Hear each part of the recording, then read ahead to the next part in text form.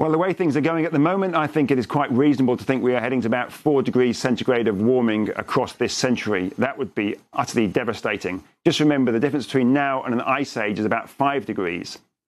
So we're talking about changes that would normally occur, occur over probably tens of thousands of years, occurring over little more than 100 years. And, and 100 years, in some respects, sounds like a long time, but uh, many of the people listening to this, their children will still be alive in 100 years, and certainly their grandchildren will be. 100 years is just tomorrow, really, in so many respects. And what and would what the world we do look today like? locks in the infrastructure. And what would the world well, look it- like? we will be seeing far more famine, far more famine, drought, uh, floods, changes in food patterns.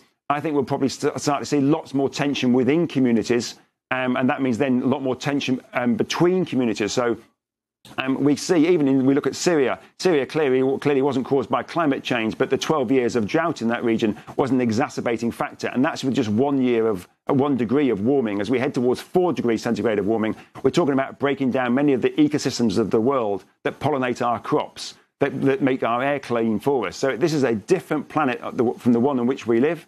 And the chaos that will ensue will be bad for our species, for humans, but also, indeed, of course, for many other species around the planet. And that's why we have to do everything we can to hold to ideally two, two degrees centigrade, well, to hold for two degrees centigrade and ideally aim for 1.5. I think that's looking very challenging. So let's, let's do everything we can to keep the temperature as low as possible.